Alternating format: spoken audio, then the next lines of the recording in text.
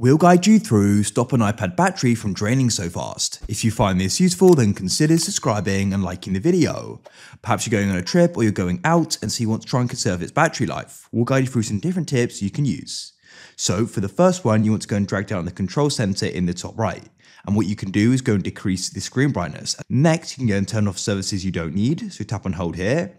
For example, if you aren't currently using Bluetooth, you can go and switch that off. And if you aren't using Wi-Fi, you can go and switch that off as well. Of course, keep them on if you do, but it's just something you can try doing. The next thing you want to do is you want to go and swipe up from the bottom of your iPad and go and close background apps. So you can simply go and swipe up on them like so and do that until they're all closed. And what you can also do is go and open up your settings you want to go to the left and find battery.